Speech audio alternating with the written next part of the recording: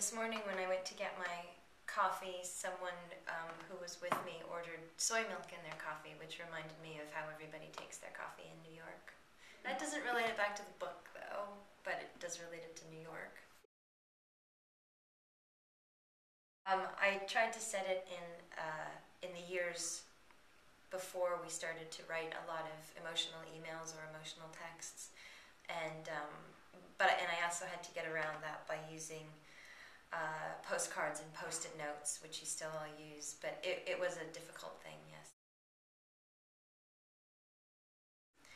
I had um, pretty much all of the story written out in my mind and written out on paper, but as I found weird little objects, I would write them into the story if I liked them, and they would inspire certain turns of plot and certain scenes.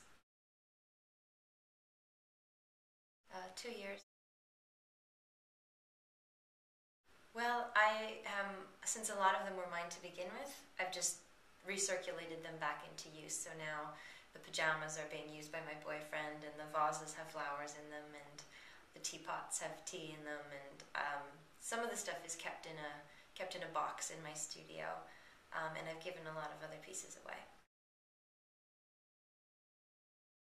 Well, I wouldn't quite know what what the money raised from the auction would go to. I thought maybe couples therapy or some sort of some sort of uh, charity that involved um, involved uh, angry fighting lovers.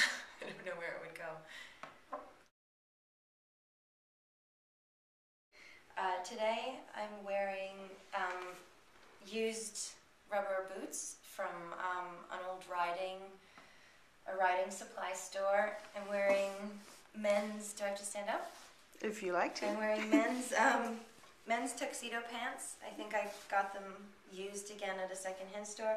My friend Rachel Comey is a fashion designer, and I help her with prints sometimes, and she repays me in clothes. So she gave me this shirt, and she also made these. She also made these great Aww. mittens. I can model. so those are Rachel's too.